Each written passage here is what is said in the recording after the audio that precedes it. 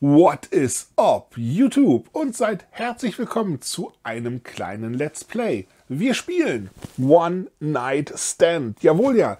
Eine Indie-Perle, wo du ja, morgens neben einer nackigen Frau aufwachst und ja, und irgendwie klarkommen musst. Das Spiel soll 16 unterschiedliche Enden haben. Ich bin total gespannt drauf. Es ist noch verpackt. Ich habe es natürlich noch nicht gespielt. Wir spielen das komplett blind. Let's go.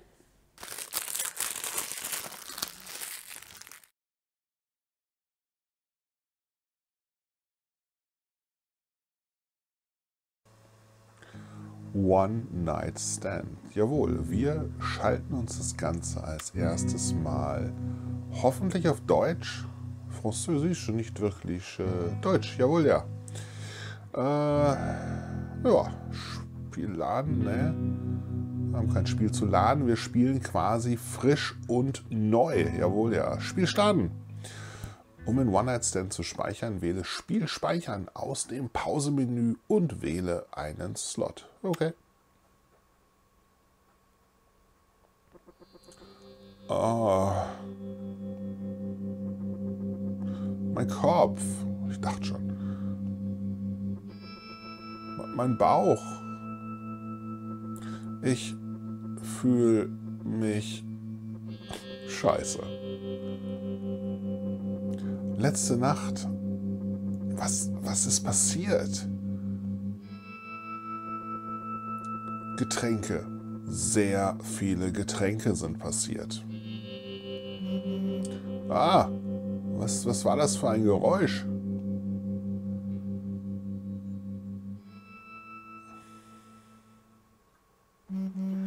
Mein, mein Handy.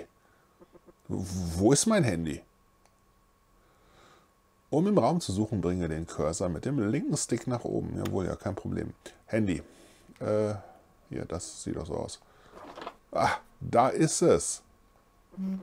Psst, sei still, Handy. Meine Nachricht von Gary. Alter, was ist mit dir letzte Nacht passiert? Ja. Gary, was will der denn? Ach ja, richtig, ich war gestern ja mit Gary unterwegs. Er klingt nicht gerade sehr zufrieden mit mir. Soll ich antworten? Ja klar, ist ja unser, unser Buddy, ne? Na klar, antworten wir.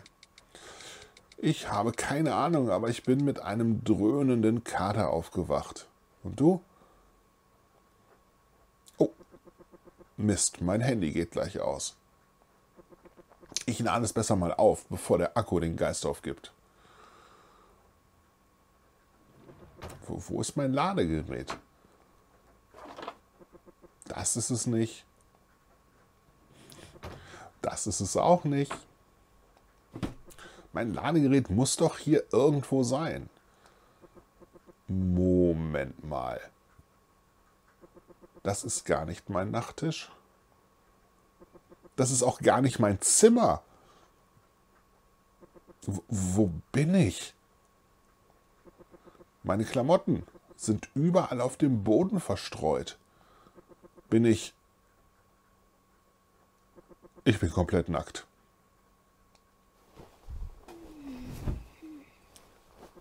Äh... Wow. Wer ist sie? Warum bin ich in ihrem Bett? Haben wir miteinander geschlafen?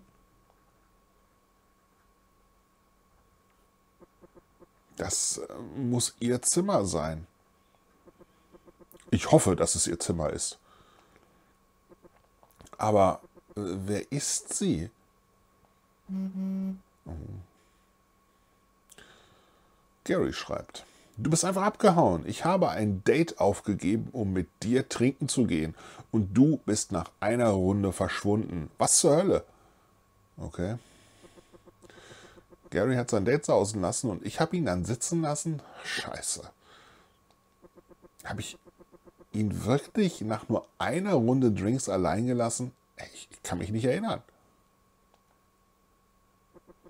Hm.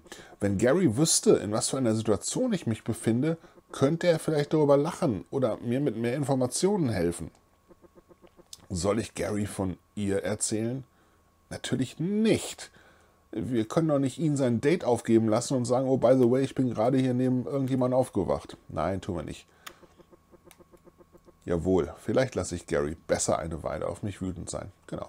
Er wäre noch wütender, wenn du ihm sagen würdest, ich lege hier neben wem auch immer. Neben wem ich aufwache, geht ihn eh nichts an. Genau. Mist. Ich kann mich an nichts erinnern, was gestern Nacht passiert ist.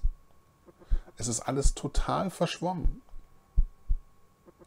Ich erinnere mich dunkel daran, Gary allein gelassen zu haben, aber, aber ich habe überhaupt keinen Schimmer, wer die Frau neben mir ist und, und, und wo ich überhaupt bin.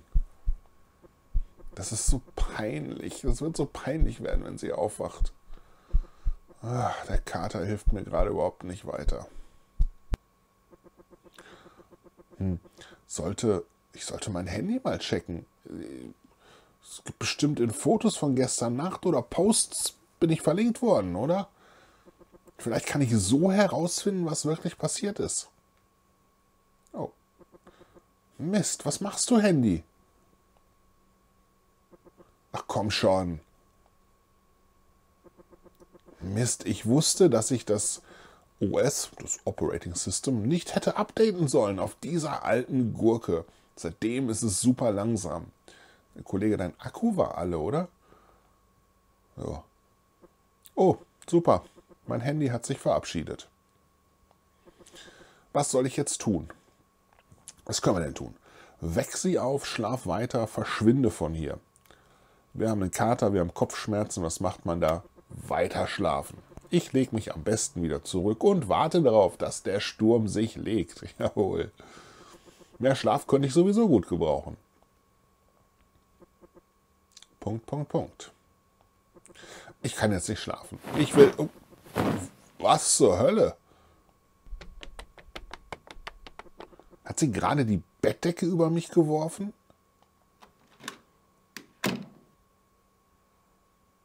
Sie ist raus. Vielleicht ist sie von der Situation überfordert. Ich bin es auf jeden Fall. Ich frage mich, ob sie möchte, dass ich verschwinde. Nee, wir gucken jetzt erstmal hier. Ne? Was gibt es denn hier zu sehen? Das kann man alles nicht so, so gut erkennen. Ne? Was ist das denn hier?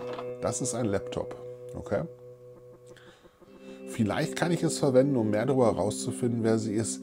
Ja klar, und in dem Moment kommt sie in den Raum wieder rein, oder was? ähm, ja klar, mach auf. Eieiei. Okay, schauen wir mal.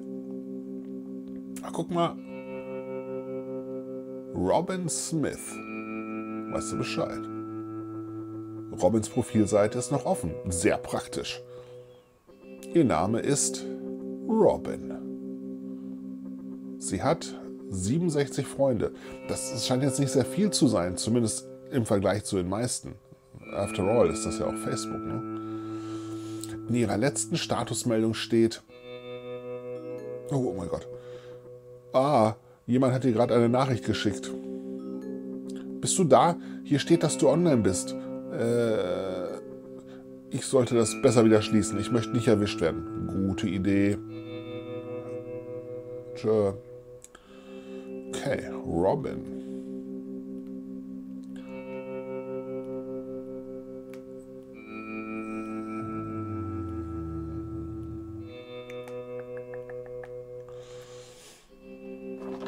Das ist ein Foto. Hm, mit einem Typen drauf.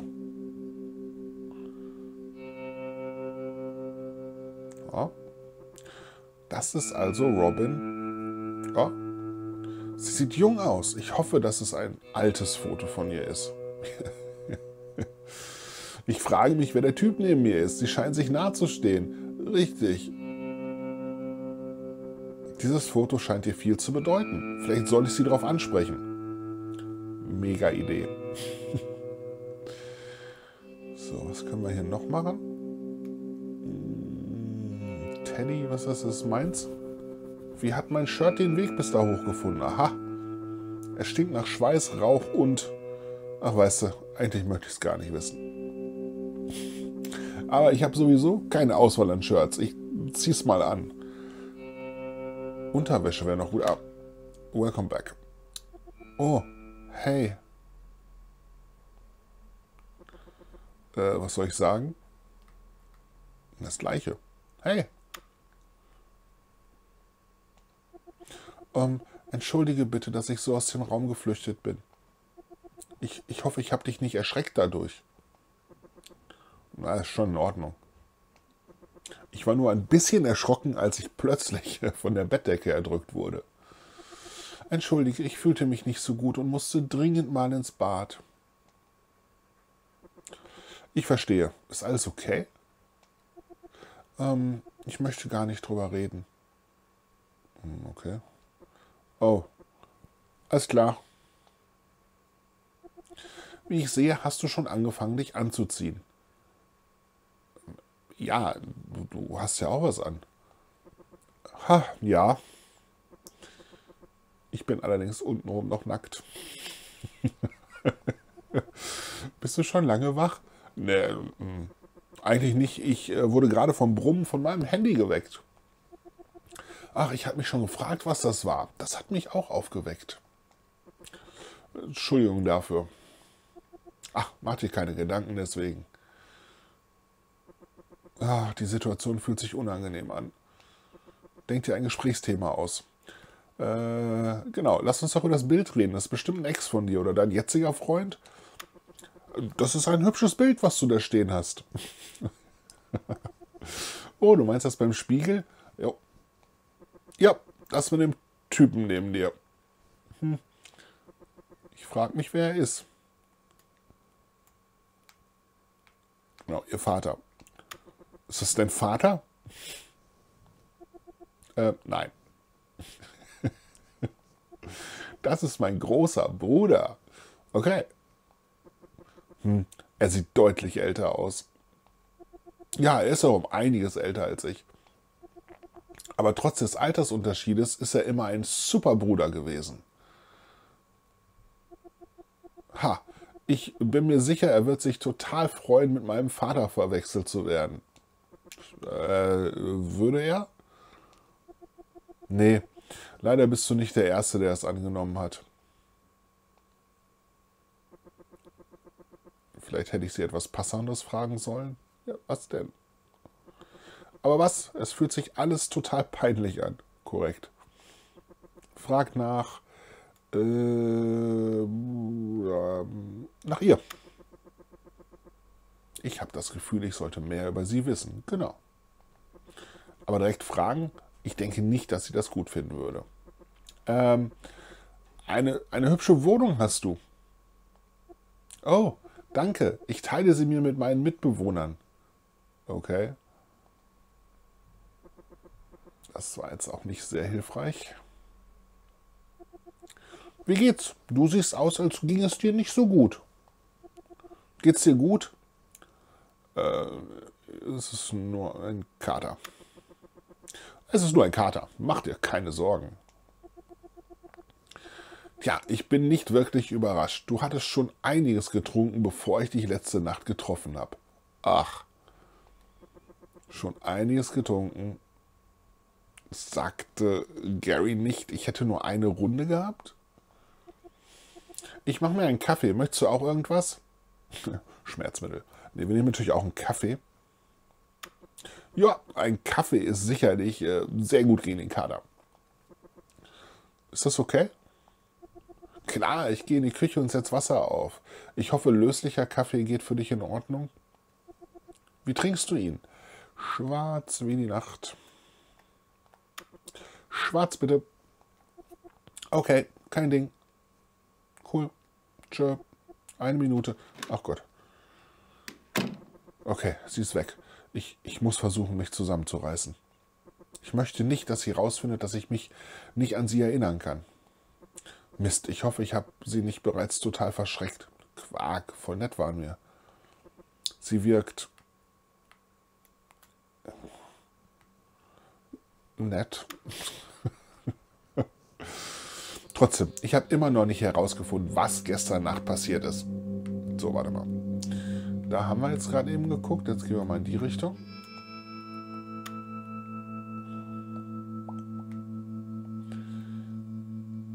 Äh, was ist das? Ein Stapel mit Zeitschriften. Da sind ein paar Musik- und Spielemagazine dabei.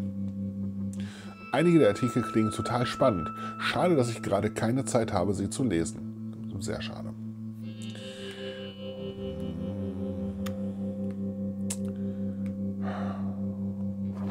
Es ist ein Spiegel. Ach. Wie sehe ich aus? Großartig, selbstverständlich.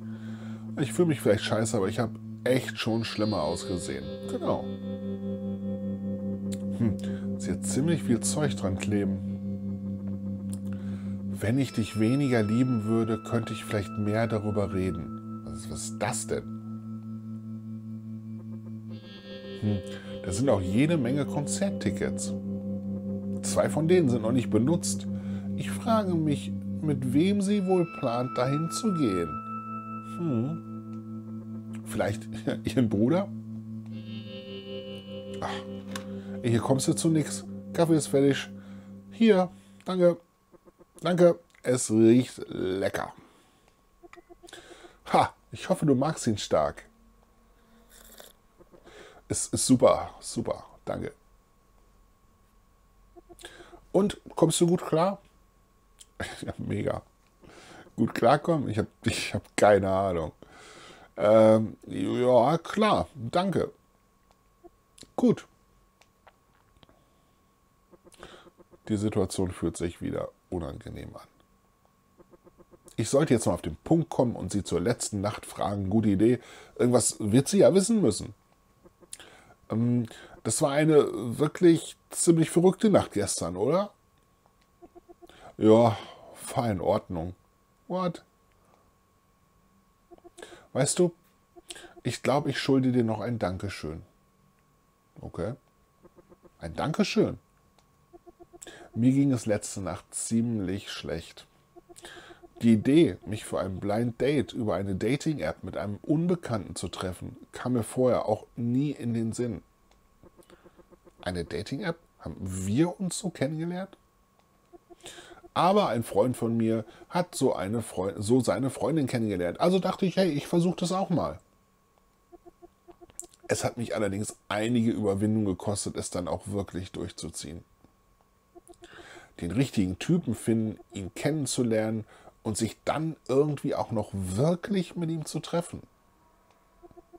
Und dann taucht er nicht einmal auf.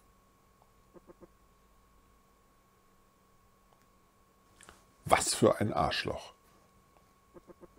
Okay, ich glaube, ich kann davon ausgehen, dass ich dann nicht das Arschloch bin, von dem sie redet. Ich habe über eine Stunde allein dort warten müssen. Dann war ich eigentlich entschlossen, ins nächste Taxi zu springen und mich für die nächsten paar Tage nicht mehr aus dem Haus zu begeben. Aber dann bist du aufgetaucht. Oh. Und ich bin sehr froh darüber. Du hast gesehen, dass es mir schlecht ging, mir einen Drink gekauft und mich aufgemuntert. Ja, klasse Typ. Habe ich? Ja, du hast sehr mit mir mitgefühlt. Du hast mir geduldig zugehört, wie ich mich beschwert habe über den Dating-App. Idioten. Dank dir ist mein Abend nicht ruiniert worden. Hm. Also ist sie gestern Abend versetzt worden. Und muss mich danach getroffen haben. Vielleicht war ich nur jemand, bei dem sie sich ausgeheult hat. Obwohl, bin in ihrem Bett aufgewacht. Wie auch immer, es erklärt, warum ich Gary letzte Nacht habe sitzen lassen. Zumindest ein bisschen. Auch wenn ich mich an nichts erinnern kann, über das wir gesprochen haben. Mach dir keine Sorgen. Ich freue mich, dass du dann doch einen schönen Abend hattest. Allerdings glaube ich, dass mein Kumpel Gary sauer auf mich ist, weil den habe ich sitzen lassen. Oh, das, das tut mir leid ist schon okay. Wir waren mitten in einer Kneipentour. Bin mir sicher, er wird es überstehen. Mir war nicht bewusst, dass du mit jemand anderem unterwegs warst. Ja, ich war mit Gary unterwegs. Wir starteten in dieser Bar, die uns ein Kumpel empfohlen hat. Glaube ich. Sorry. Hä? Ähm, es ist nichts. Warte mal, welche Bar war es denn? Oh, oh. Äh, sie hat mich ertappt. Ich kann mich nicht erinnern, habe keine Idee, welche Bar es war. In welcher Bar warst du mit deinen Freunden? The Stray Sheep Heartbeats Bar. Komm, wir sind ehrlich. Ich, äh, boah, ich kann mich nicht erinnern. Ähm, hm? Ich habe keine Ahnung. Wow, wie bitte? Du erinnerst dich nicht einmal mehr, in, in welcher Bar du mit deinen Freunden warst? Nö. Ha, das ist die erste Bar, in der du warst. Dann kannst du dich wohl an nichts erinnern? Naja, ich erinnere mich zumindest, ich erinnere mich aber zumindest an deinen Namen. Robin. Das ist gelogen, aber egal. Damit sollte ich bei ihr ein bisschen punkten können. Nehme ich an. Aber bei allen anderen scheint deine Erinnerung verschwommen zu sein. Vielleicht kann ich helfen, deine Gedächtnislücken zu füllen. Jawohl, ja, sehr gerne. Mach das, das würde mir sehr helfen. Naja, ich war in der Bar des Paradox Nachtclubs bis kurz vor 10. Ich hatte da schon eine Weile gewartet. Paradox, hm? Ich war schon ein bisschen beschwipst und erinnere mich vage daran, dass du mich angesprochen hast. Du wirktest noch recht nüchtern. Wir haben zusammen eine Runde getrunken und sind dann ins Gespräch gekommen. Wir haben uns dann in eine ruhige Ecke verzogen und uns näher kennengelernt.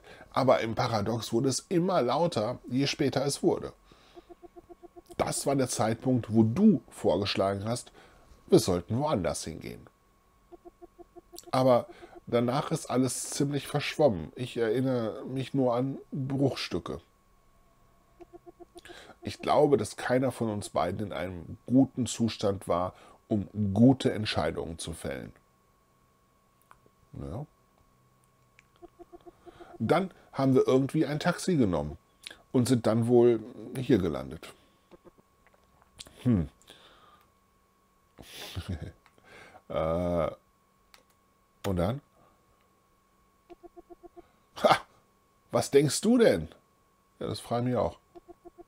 Das ist jedenfalls alles, an, an was ich mich erinnern kann. Okay? Was dich und deine Freunde angeht, ich habe keine Ahnung, was vorher passiert ist. Kein Problem. Danke fürs Füllen meiner Gedächtnislücken. Es hat mir geholfen, aber ähm, ist mir auch irgendwie etwas peinlich. Oh. Oh, jemand ist an der Tür. Eine Minute. Ach, nice Panties. Hm. Es gibt immer noch so vieles aus der letzten Nacht, an das ich mich nicht erinnern kann. Vielleicht kann ich hier im Zimmer noch weitere Anhaltspunkte finden. Sehr wahrscheinlich. Let's go. Was ist das hier alles? Der Teddy ist wahrscheinlich egal. Was ist das? Ein Film. Das ist eine DVD. Love IRL. Liebe im richtigen Leben, in real life? Hm. Hab von dem Film noch nie was gehört. Er scheint recht neu zu sein. Ja, oder recht kacke. Dem Werbetext auf der Rückseite zufolge ist, es, ist Love IRL ein Film über Zoe, eine Studentin, die sich mit einem Unbekannten anfreundet. Ach. Und verliebt. In Edenscape, ein Online-Multiplayer-Rollenspiel. So langsam erkenne ich ein Muster. Robin scheint Romanzen zu mögen. Hm. Der Film klingt niedlich. Oh. Ich frage mich allerdings, ob es ein Happy End gibt. Vielleicht sollte ich Robin fragen, ob er sich lohnt. Die uns hoffentlich noch einen Moment hier stöbern lässt. Einführung in die englische Literatur. Englische Literatur im Kontext. Der Rest scheinen Fachbücher über dasselbe Thema zu sein. Ja, das klingt wie ein Anglistik-Student an der Uni. Da sind auch ein paar DVDs. Die kommt so schnell wieder. Du kannst ja gar nicht. Äh, Entschuldigung, die Unterbrechung. Gar kein Problem. Wer war denn an der Tür? Nur der Postbote. Ich habe online ein paar Bücher bestellt. Ich frage mich, ob sie so, wie sie angezogen ist, an die Tür gegangen ist. Ja, selbstverständlich. Vielleicht sollte ich versuchen, sie etwas näher kennenzulernen. Jo, wir reden mal über den niedlichen Film. Mir ist aufgefallen, dass du Love IRL geguckt hast. Oh ja, ein Freund hat, mir, hat ihn mir geliehen. Das ist ein richtig guter Film. Mhm. Hast du ihn gesehen? Ich auf deinem Nachtschränkchen. Nee, aber es klingt schon so, als könnte das ein cooler Film sein. Das stimmt nicht. Ich habe gesagt niedlich, Freunde. Das ist bestimmt kein cooler Film. Ich würde gerne sehen, wie sich die Unterschiede zwischen dem realen und der Ingame-Welt zeigen. Das handhaben sie ziemlich gut, meiner Meinung nach. Ich fand ihn auf jeden Fall sehr gut. Er ist, es ist keiner dieser typischen Blockbuster. Und die Liebesgeschichte ist auch sehr süß. Und der Hauptdarsteller wirklich niedlich. Oh. Niedlich? Hahaha. Scheint so, als wärst du ein großer Fan. Ich muss mir den dann wohl auch mal anschauen, was dran ist. Oh, Trophäe erhalten. Coming soon. Sehr schön. Ja, das solltest du. Hör mal. Wegen letzter Nacht. Ja. Ja. Ausgehen. Ein völlig Fremden treffen und ihn mit hierher bringen, nach Hause, das ist nichts, was ich üblicherweise tue. Tatsächlich ist es so, dass ich das noch nie vorher getan habe. Robin hatte vorher noch nie ein One-Night-Stand. Hast du denn jemals schon, schon so etwas gemacht? Nein, um Gottes Willen. Natürlich nicht. Niemals nicht einmal. Nein, habe ich nicht. Das ist beruhigend. Das macht die ganze Sache etwas weniger unangenehm für mich. Ich glaube, was ich versuche zu sagen ist, ich möchte nicht, dass das hier typisch ist. Ich will sagen, du bist immer noch hier. Ja? Du hast dich nicht rausgeschlichen, bevor ich aufgewacht bin oder als ich draußen war. Ich, ich weiß nicht genau. Du warst nett zu mir letzte Nacht. Ja aber ich hatte damit gerechnet, dass du gehst. Und ich möchte jetzt nicht sagen, dass es blöd ist, dass du noch hier bist. Sie freut sich, dass ich noch hier bin. Dann muss ich wohl einen guten Eindruck bei ihr hinterlassen haben. Trotz allem. Schau mal, ähm, wir haben uns gestern nicht wirklich gut kennengelernt. Oder falls doch, erinnern wir uns zumindest nur wenig daran. Ich habe mich genug über meine Dating-Probleme ausgekotzt. Ähm, ich glaube, ich habe genug über mich geredet. Äh, erzähl mir mal was von dir. Hm. Erzähl mir etwas über dich. Äh, was denn zum Beispiel? Irgendwas, wenn wir uns näher kennen, kann dies vielleicht anders sein. Anders. Naja, ich weiß nicht genau. Nicht so seltsam. Ja, äh, das denke ich auch. Was soll ich über mich erzählen? Wir erzählen etwas über unsere Hobbys. Hm, ich denke, ich starte einfach mal. Oh, what? Hä? Entschuldigung, bin gleich wieder. Beste Szene im Game. Sie ist wieder weg. Das war merkwürdig. Es schien ihr gut zu gehen, bis ich meinen Mund aufgemacht habe. Was soll ich jetzt tun? Hilf ihr? Nee. Naja, wir warten. Jawohl, ja.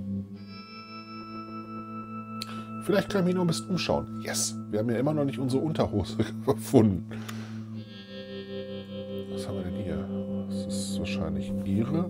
Uh, Rüschen. Sieht aus wie eins von Robins Höschen. Was soll ich tun? Genau, mitnehmen ist die beste Idee ever. Das lassen wir mal in Ruhe. Es könnte, ja, etwas merkwürdig sein, ihr Höschen zu nehmen. Ich lasse es mal in Ruhe. Gute Idee. Ich habe zwar meine Boxershorts noch nicht gefunden, aber das ist sicher kein Grund, ihre Unterwäsche zu klauen. Richtig. So, ist das ihr Söckchen? Das muss ihre Socke sein. Ah, Meine Unterwäsche ist da drunter. Yes. Ich frage mich, wie die auf ihrer Seite vom Bett gelandet ist. Ich ziehe sie mal an. Gute Idee. Guter Mann. Oh, da ist er schon wieder. Hey, geht's dir gut? Eigentlich nicht. Nicht. Mir ging es plötzlich richtig schlecht. Vielleicht habe ich gestern etwas Falsches gegessen oder zu viel getrunken. Was soll ich jetzt tun? Ähm, anbieten zu gehen? Nee, wir bieten mal Hilfe an, oder? Ja. Kann, kann, kann ich dir etwas besorgen? Danke, aber ich glaube, ich brauche einfach nur etwas Ruhe. Okay? Bist du sicher? Ja, Entschuldigung.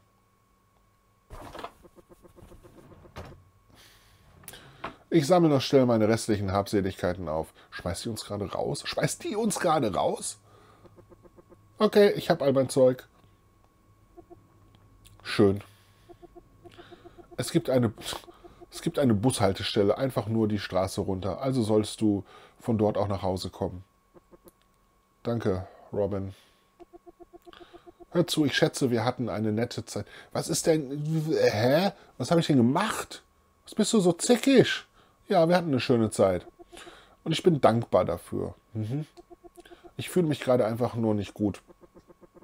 Wie soll ich antworten? Äh, nee, wir wollen, ich, ich, ich will dich wiedersehen. Okay, Robin, aber ich mag dich wirklich. Ich, ich will nicht gehen und dich dann nie wiedersehen. Ich würde es wirklich hassen, wenn das so zwischen uns endet.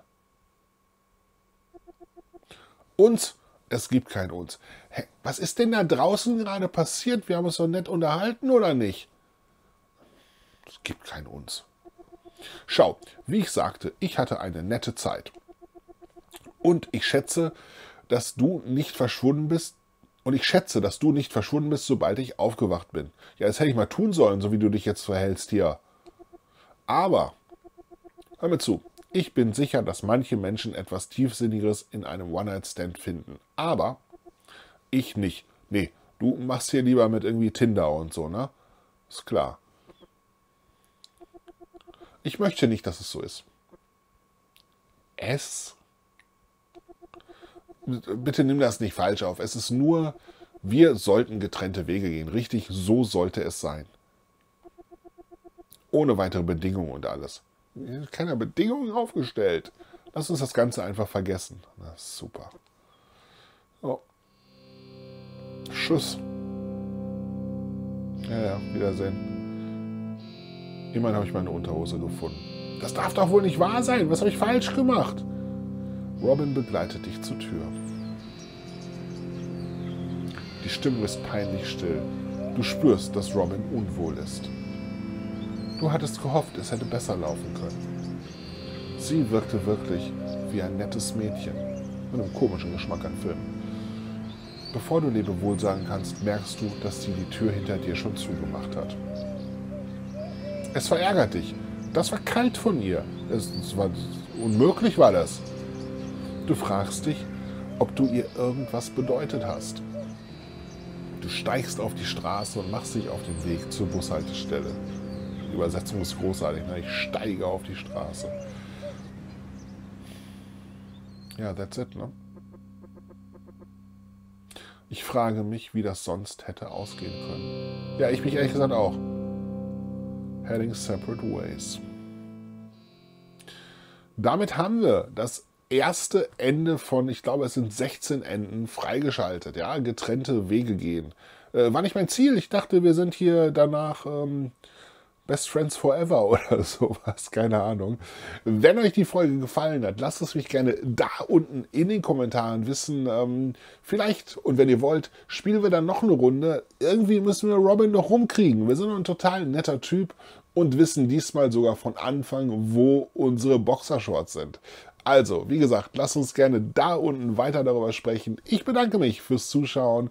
Bis zum nächsten Mal. Euer Lario.